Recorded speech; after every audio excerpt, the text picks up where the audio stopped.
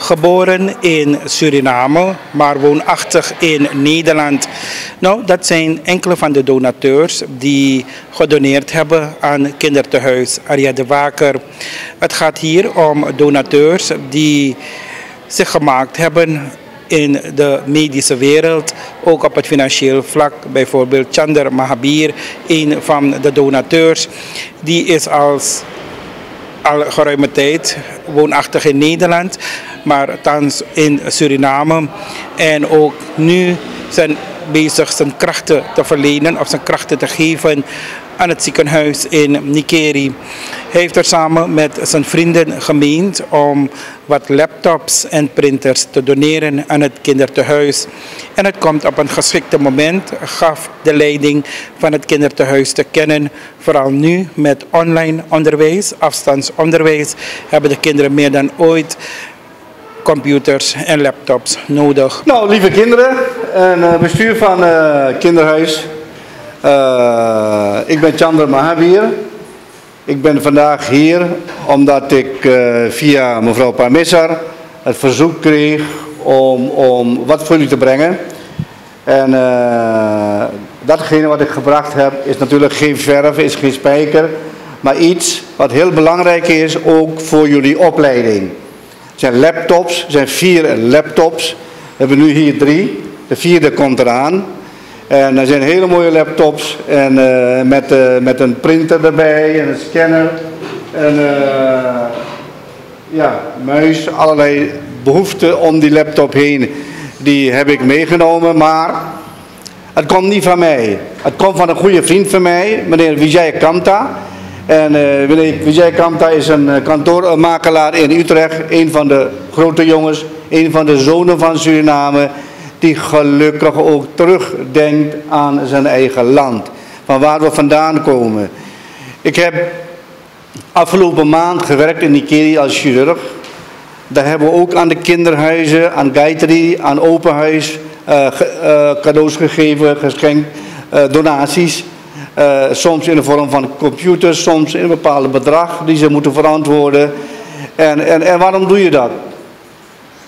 Kijk, wij zijn van hier, ik ben geboren in Nigeria, meneer Kamta in Paramaribo, meneer Baburam Pandey die heel veel geschonken heeft.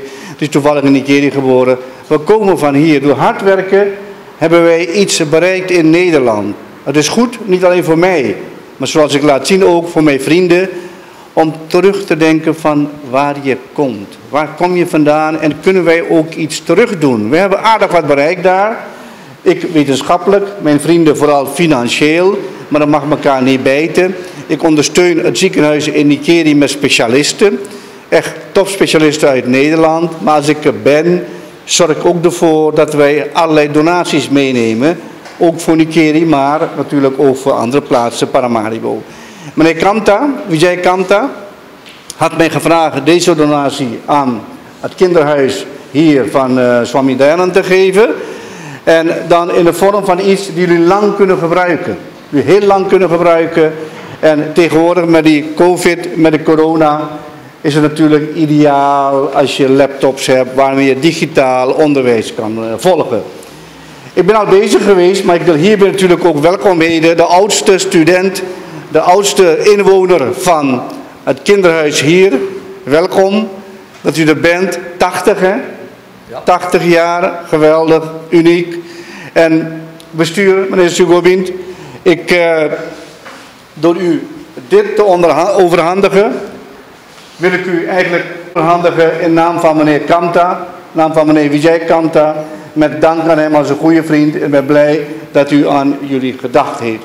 Ten eerste wil ik u, dokter Mahabir, heel hartelijk dank zeggen dat u namens uw vrienden in Nederland, u noemde de naam Vijay Kanta. Vijay Kanta en u wilde nog een andere naam, die uh, voor gezorgd hebben dat er wat middelen beschikbaar zijn gekomen.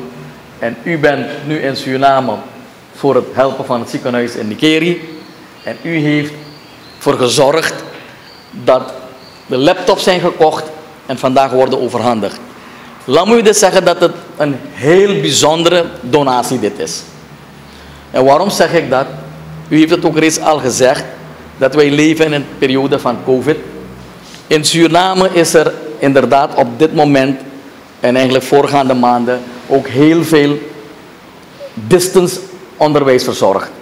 Er wordt heel veel vanuit afstand gedaan. Ja. En ehm, dat gemist hebben wij gemerkt. Dat wij dus eigenlijk niet over voldoende computers beschikten.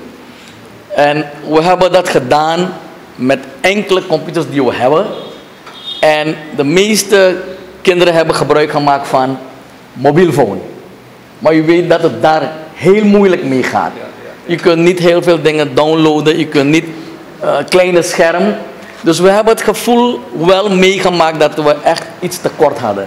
En dit komt eigenlijk als ze geroepen. We zijn heel erg blij mee dat het hiermee een invulling wordt gegeven. En met name, kijk, nu is het weinig distance onderwijs, de kinderen gaan al op school weer. Maar we hebben hier een aantal kinderen wonen die reeds al op de middelbare school zitten. Ze doen het voorgezet onderwijs. Op dit moment heb ik twee jonge dames die zitten op de IMEO in de derde klas. Eentje zit op de VUO, zesde klas. En ze moeten heel veel dingen gebruik maken van de computer. Ze moeten dingen downloaden, ze moeten verslagen maken, ze moeten stukken op, op de, eh, eh, op, via Google gaan zoeken. Ja. En dit gaat een oplossing zijn. Ze hoeven niet met de coördinatoren te gaan. We willen een half uurtje computergebruik maken, want we willen dingen opzoeken. Dan kunnen ze zelf doen. Dus wat we gaan doen is dat we de computers, de laptops gaan, laten we zeggen, we gaan dus assignen, we gaan ze dus aanwijzen wie met name hiervan gebruik gaat maken. En ik denk meer de oudere kinderen. En uiteraard hebben we ook kinderen van de MILO, derde, vierde klas, die ook heel vaak dingen moeten opzoeken. Dus computer, de laptops, is een geweldige gift. Dus ik wil u nogmaals namens alle kinderen en het bestuur van het kinderhuis heel hartelijk dank zeggen. En uw, uw collega's in Nederland kunnen waarschijnlijk ook via de media, via Trizool, ook dit bericht volgen. En we zijn heel dankbaar. En ik hoop dat het niet hierbij zal blijven. U gaat terug. U zei het al. U heeft heel wat vrienden daar die hun positie hebben bereikt en veel waarschijnlijk ook meer kunnen missen. En ik zou zeggen, probeert u veel meer voor ons te doen. Omdat dit kinderhuis op dit moment al vijf jaar functioneert of draait via donaties. Geen steun van de overheid? De overheid heeft ons al, laten we zeggen, vier, vijf jaar minimale steun gegeven. Ik bedoel, een paar dingen hier en daar, dat noem ik geen steun. Maar we leven dus eigenlijk van donateurs zoals u. En um, blijft u ons ondersteunen. Oké? Ehm, laten we hopen dat de kinderen het goed gebruik van gaan maken. En ik denk, ik geef u die vertrouwen dat het goed gebruikt gaat worden. Wij willen u heel hartelijk bedanken voor deze laptops. Um, de reden waarom, omdat we wel twee computers hadden, maar er zijn zoveel andere kinderen die gebruik van moeten maken. En nu hebben we meer. En dan kunnen dan een aantal kinderen daarvan gebruik maken. Daarom zijn wij u heel erg dankbaar mee.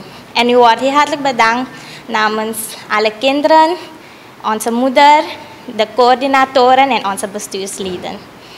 Dank u wel. Ja. Ik hoop, zoals u net zei, niet u alleen. Meerdere kinderhuizen hebben we die kering gezien, Paramaribo. De hulp die ze nodig hebben is groot. Kijk, de overheid heeft het ook moeilijk gehad. Laten we daar even eerlijk zijn. En uh, waren moeilijke tijden, kwam nog de tsunami bovenop. Ik ben chirurg, ik merk in ziekenhuizen hoe groot, hoe groot de problemen daar zijn. Vandaag in de krant, in de Times toevallig lazen we ook uh, een heleboel dat er medicijnen niet zijn. Ook ampullen om mensen te verdoven zijn er niet. Jammer. Ik, ik, hoop, ik hoop echt van ganse harte dat daar verandering in komt. Ook omdat een gezondheid van een mens iets is wat, wat toch het allerbelangrijkste is wat we hebben. En uh, ik hoop van ganse harte aan deze regering dat ze gauw daar verandering in brengen. Ze zijn goed bezig, maar ja, we zijn pas drie maanden. En laten we hopen dat het beter gaat worden. Maar ook voor de kinderhuizen, de bejaardenhuizen en, en andere. De, de, de oudjes. Ik heb meegemaakt de ouderen in ziekenhuizen. Neemt u van mij aan ik schaam me dood als ik zie hoe ouderen die geen familie achter zich hebben, schrijnend doodgaan aan doorlichtplekken. Niemand is er om ze op te halen.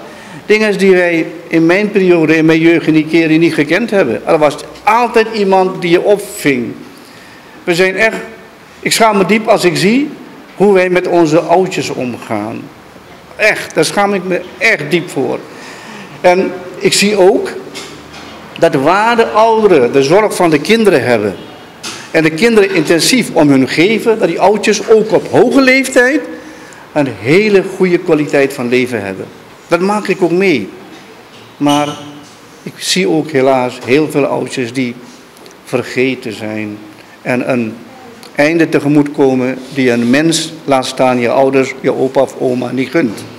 Dus ik hoop ook dat een heleboel van de vrienden die kijken in Suriname, in Nederland, wherever, dat jullie bereid zijn, hoe groot of hoe klein, de eigen bijdrage te leveren.